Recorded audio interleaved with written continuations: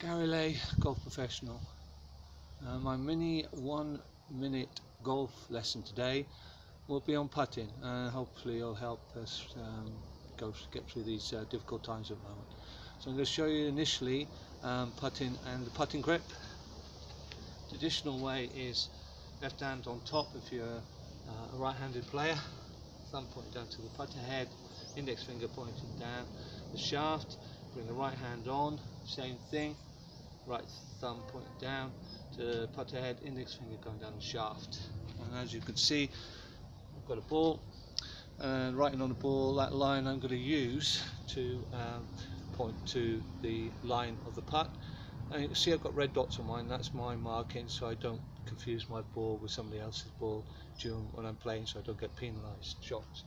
I mark the ball, put it up, set myself up on that line square straight in the hole bish bash bosh.